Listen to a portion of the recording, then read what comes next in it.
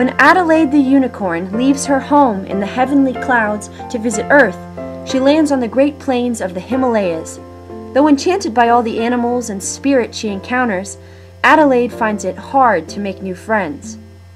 Children will love Adelaide's adventures as she searches the globe for a place to fit in, a place to call home. Will Adelaide discover that the love she's been looking for has been in her heart the whole time? This charming and heartfelt tale is the first in a series of adventures for Adelaide the Unicorn. Adelaide the Unicorn and the Children of the World, Once Upon a Time There Was a Unicorn, is available at Amazon.com and other online retailers, as well as directly from the publisher.